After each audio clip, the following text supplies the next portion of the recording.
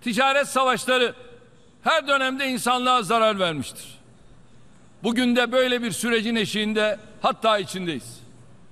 Ticari anlaşmaların keyfi bir şekilde iptal edilmesi, korumacı politikaların yaygınlaştırılması ve ekonomik yaptırımların silah gibi kullanılması karşısında hiçbirimiz sessiz kalamayız.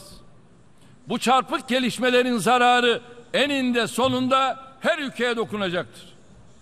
Dünya ticaret düzeninin tek taraflı kararlarla bozulmasına engel olmak için hep birlikte çalışmalıyız. Birleşmiş Milletler'in 2030 küresel kalkınma hedeflerinin başarısı için çalışmamız gereken bir dönemde dünyanın yeri bir ekonomik kırılma yaşamasını hiç kimse istemez.